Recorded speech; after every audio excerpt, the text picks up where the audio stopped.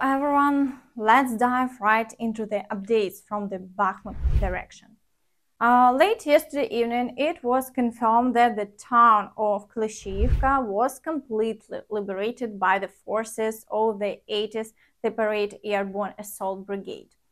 However, the enemy continues to make relentless efforts to inflict maximum harm on our troops, employing various means of firepower. Uh, this was to be expected, and there were no changes uh, for the Russians to hold their defense there any longer. The Ukrainian forces' counteroffensive is ongoing with an overall advance in this direction of another 700 meters within a day. Today, the only question remaining is the area near Klishivka, which is still in a gray zone. The Kurdyumivka area sees periodic advancements by the Ukrainian forces toward the outskirts of the village, but full liberation hasn't yet been achieved. Additionally, today, President of Ukraine Volodymyr Zelensky commented on the coordination and operational actions of our units. I wish you health, fellow Ukrainians. I would like to express gratitude today to everyone who defends the sky of our country our pilots and engineers of the Air Force, warriors of mobile fire groups, all our anti-aircraft gunners. Thank you for constantly increasing the number of downed Russian missiles and drones, and thus the number of our people and infrastructure saved. Thank you, warriors, and to everyone who is now on the front line, to every brigade, from Kupiansk to the left bank of Kherson region, from the Bakhmut sector to every Ukrainian position on the front line in the south of our country. I thank you guys for your might. And today, I would like to especially recognize the warriors who are gradually regaining Ukraine's territory in the area of Bakhmut. The 80th Air Assault Brigade, the 5th Separate Assault Brigade, the glorious 95th and Fury Joint Assault Brigade of the National Police. Klishchivka, well done. Today, Ukraine marks Rescuers Day. And on Friday, I had the honor to personally thank the employees of the State Emergency Service of Ukraine and all those whose hearts simply feel that it is impossible otherwise, that we must take care of others, that we must help others when lives depend on it. Today, I want to thank not only all our rescuers, but also all the relatives, mothers and fathers of boys and girls men and women working in the State Emergency Service of Ukraine. I thank you for raising your children this way, to save others, to make our entire society stronger and more humane. Thank you. Today, and this is a very symbolic coincidence, our country also marks Adoption Day. This is probably one of the most honorable missions in life, to help a child avoid an orphan's fate. I thank everyone who helps children in this way, everyone who spreads the warmth of their families so that there are fewer lonely destinies in this world. As a state, we must reach a point when all children in our country, all those who have been left without parental care, have their own family, their own home, their own family. Ukraine certainly must not be associated with orphanages. I thank everyone who works for this. Glory to everyone who helps our people and the entire country become stronger. And we are preparing new defense decisions for Ukraine. Air defense and artillery are a priority. Glory to Ukraine! Before we continue, I'd ask you to share this video on social media and watch it through to the end. It greatly supports the growth of my channel. Thank you. Meanwhile, in the Avdiivka direction, the occupiers are attempting to dislodge the Ukrainian forces from the outskirts of Opytne, resulting in ongoing shelling. Additionally, they are advancing towards Vodyane, towards Severne to regain lost positions. However, there have been no successes in the past day and the front line remains unchanged. Further south in Marinka, battles continue for control of the city's outskirts, but the Ukrainian forces are successfully holding their defense and the front line remains unchanged as well.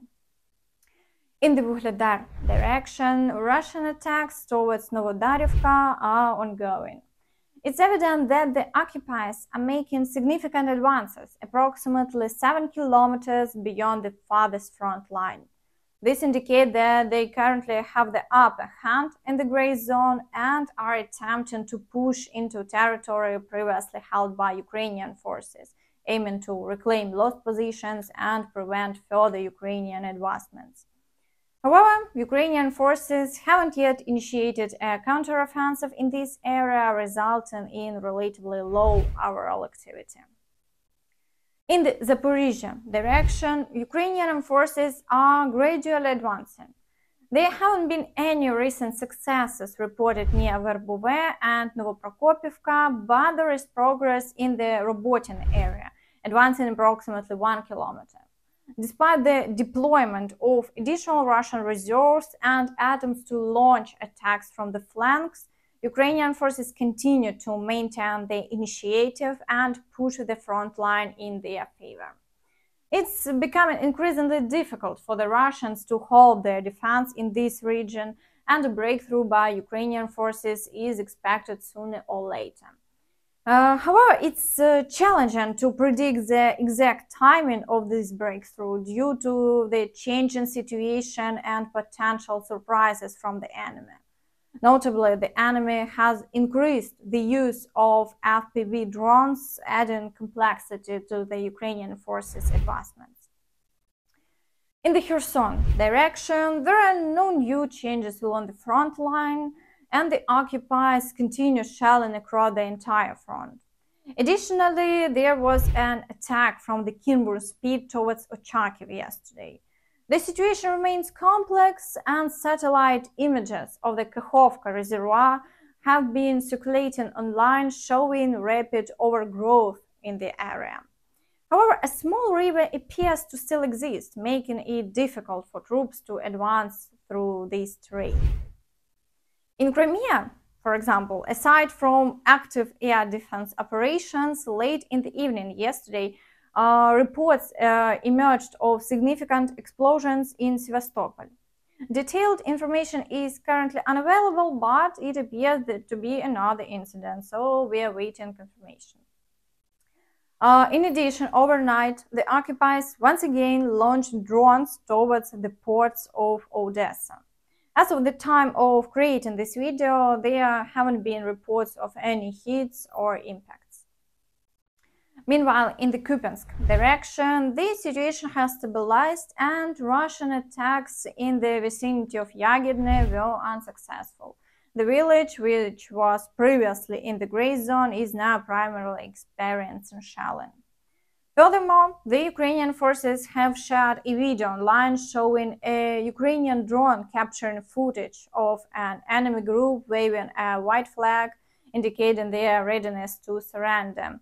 So it seems that another batch of Russian troops is unable to withstand the pressure from the Ukrainian forces, though it's still unclear in which direction this occurred. In the Svatove area, the occupiers have also faced setbacks with Novoigorivka and Novoselivske remaining under the control of the Ukrainian forces as they were before. Uh, there have been no reported successes for the Russians. Uh, as a result, today there are only minimal shelling incidents and the situation can be considered stable.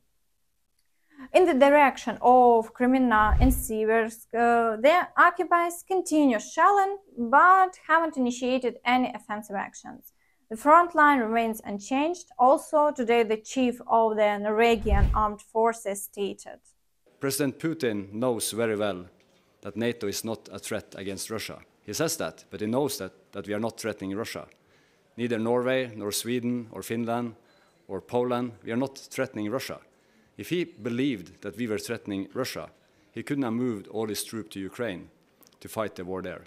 So on on our border, on the Norwegian border, there is maybe 20% or less forces left than it used to be before uh, 24th of February 2022. So, so he has taken that risk because he knows that NATO is not threatening anyone. It's clear that NATO has no intentions of launching an armed attack on Russia or any other country, despite Putin's daily claims to the contrary.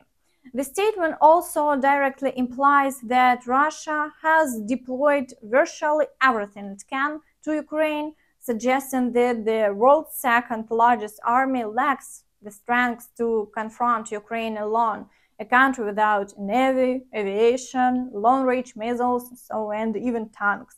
Allies have supplied Ukraine with just over 300 tanks, while the Russians have gathered over 500 tanks on just one front in Lugansk.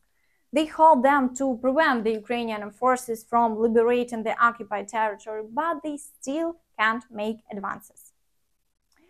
Also, I know everyone is interested in the situation with Kadyrov today. I deliberately refrained from providing any information because it seemed more, the, more like a fake than the truth. However, today more and more confirmations are emerging that Kadyrov is indeed in the hospital, but his real condition is still unknown. One by one, expensive cars with state license plates from Chechnya or from other regions with Chen residents in the cabin arrive at the main Kremlin hospital. Moreover, their security details are allowed inside without inspection by the hospital security. Meanwhile, all other incoming vehicles are thoroughly inspected, even the vehicle's underside. Uh, just an hour before arriving at the Central Clinical Hospital, Chechen vehicles, including a Maybach with two security vehicles, a Porsche Cayenne, four G-Wagons, and many other expensive cars all showed up. However, in the morning, he posted a video from Grozny, but as you can understand, it was most likely a previously unpublished video deliberately released to divert attention from the fact that he's in the hospital. Overall, we are waiting for official confirmation, but it seems that Kadyrov may follow in the footsteps of Prigozhin. Hmm, maybe. And that's all from me. Thank you for watching and see you next time. Bye bye.